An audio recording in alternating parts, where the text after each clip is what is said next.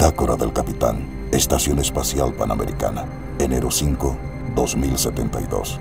98 días desde el gran apagón. Orbitamos a 33 kilómetros. No vemos ninguna luz abajo.